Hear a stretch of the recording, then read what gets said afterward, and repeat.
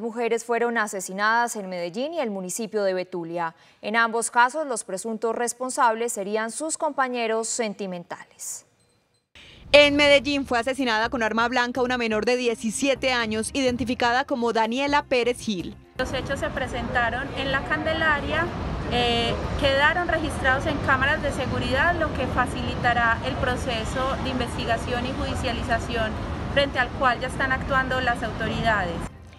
Hasblady Arboleda tenía 21 años de edad y falleció en un hospital de Medellín luego de recibir un impacto de bala en Betulia. Al parecer recibió eh, la herida por arma de fuego de su compañero sentimental con quien ella pretendía terminar su relación. Los hechos son materia de investigación. En Antioquia se han registrado 144 asesinatos de mujeres este año. 19 han sido catalogados como feminicidios. Tres ocurrieron en Betulia.